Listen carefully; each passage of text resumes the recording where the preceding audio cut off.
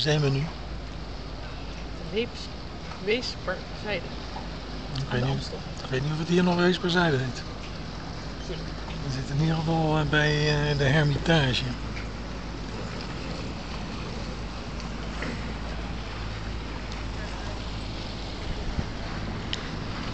Aan de Amsterdam.